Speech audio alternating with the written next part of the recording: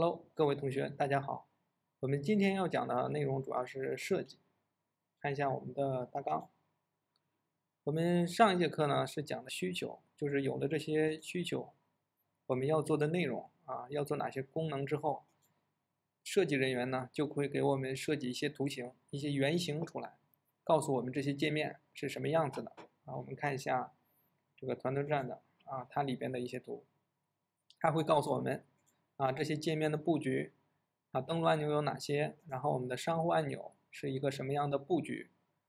它里边有哪些啊按钮？点击它的一个字体字号，啊，这里边看它这里边的一个颜色啊，颜色图标它都会给我们设计出来。然后点击一个图表进去之后，它的详情页又是什么样子的？一个大概的一个原型设计。设计完之后呢？我们就可以按照它这种设计呢设来开发我们的代码。我们有了这种美工或者 UI 设计人员给的我们这些原型稿呢，我们就可以进行我们系统框架的一个设计。系统框架呢，我们今天主要讲导入应用程序的一个图标及启动图。这里边我们就看一下，我们来如何搭建自己的框架啊。有了美工的一个设计，我们来如何？进行一个工程的建搭建。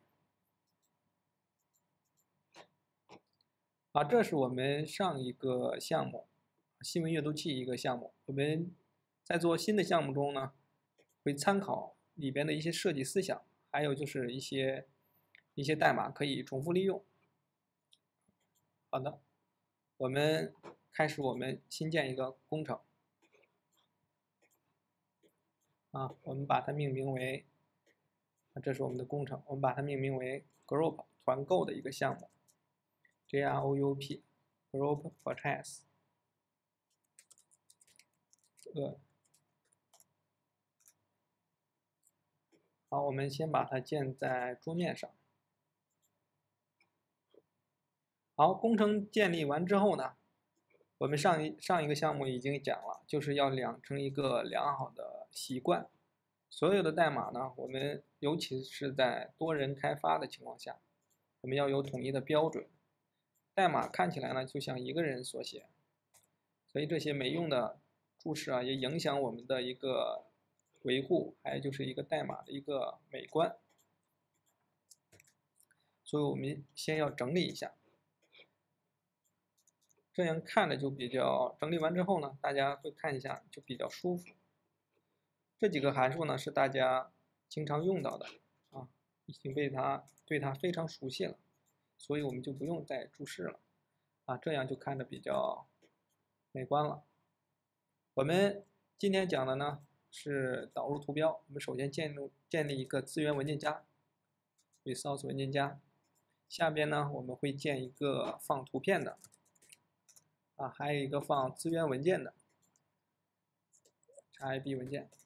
这样好处呢，就是我们对它进行一个分类，方便我们以后呢进行维护或者管理。把它放放进来啊，这样就分类。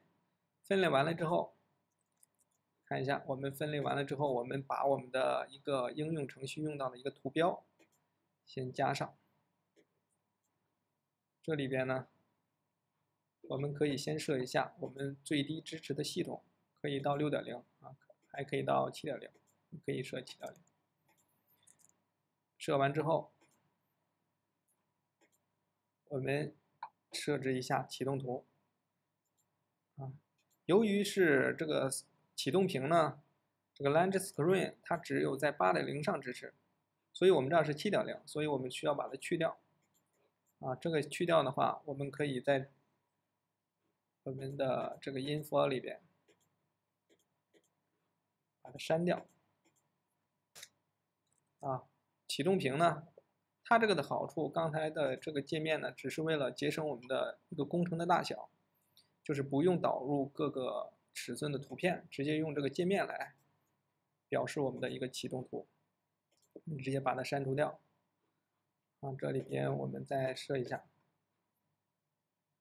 啊，我们这个是启动图，我们使用它来表来设我们的启动图。好，在这里边就多了这两个文件夹。它里面用到的一些尺图标的一个尺寸呢，这里都可以看到啊，这是多大的啊？还有就是是不是支持六点零啊？这里边我点上之后，它会有这个设备需要的一些图标的一个尺寸，我把它去掉。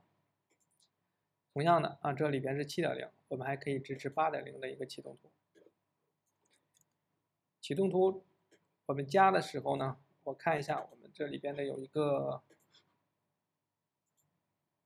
资源文件，这些图呢都是我从团团转它这个上线的这个项目里边拷出来的一些图片，我们可以把它拷贝到我们的这个项目里边利用一下。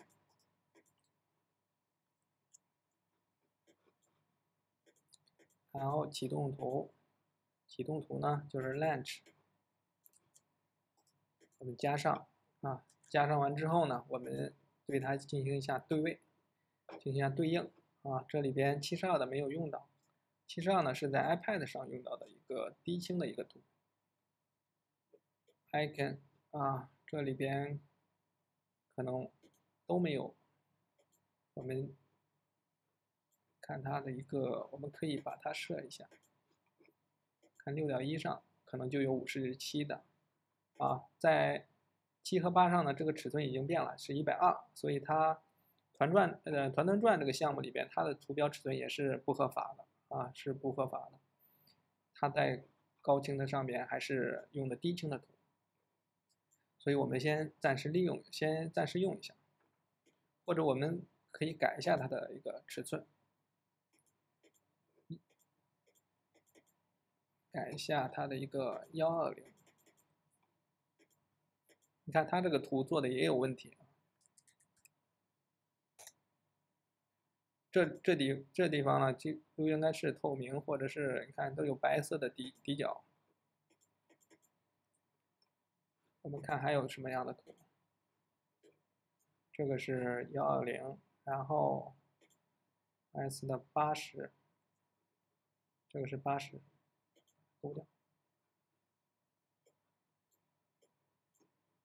看一下这里边啊，它这个这里边有一个一百二，然后还有一个一百八，我们可以看一下七和八，这是个八十，这是一个一百二，这还可以改变它的一个大小啊。这个图呢我们就不改了，这些图的尺寸呢都是美工给我们按我们的要求来做好的。可以设在这里。好，这个图缺少的这些尺寸呢，都可以让美工给我们做。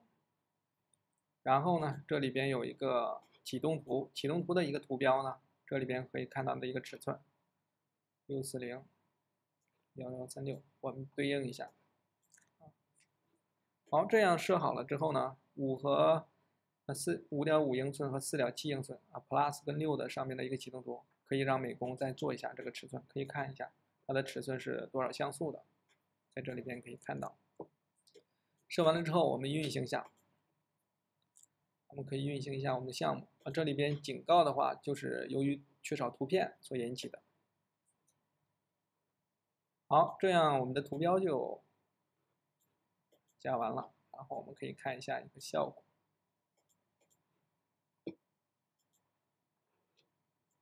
好，它在启动启动的时候，我们先进行下一个下一题，就是说我们项目做完之后呢，我们代码完成一个阶段之后，我们一定要记得提交到服务端。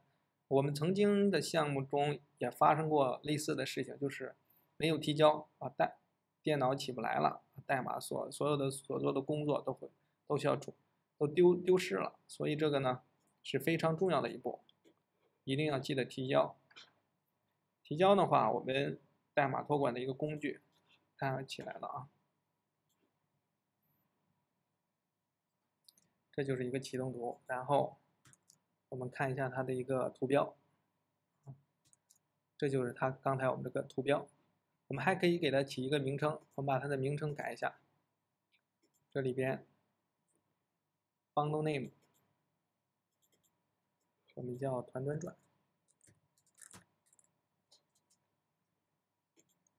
我再运行一下，啊，这是用到的一个代码托管的一个工具，我们可以建公有或私有的项目。这是我们 NewsReader 呢，是我们上一个项目的一个源代码。我们还可以创建一个啊，叫 group group attach。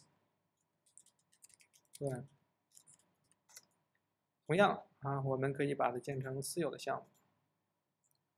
好，创建完之后呢，我们就可以把它提交提交上来了。我们看这里有一个有一个路径，我们复制一下，然后我们打开我们的，我们先看一下这个的一个图标啊，名称，看我们的名称就变了。好，这就是我们这节课讲的内容，是加应用图标，还有一个启动图。加完之后呢，我们最后要进行的一步呢，就是把代码提交到服务器上。我们讲一下如何来提交。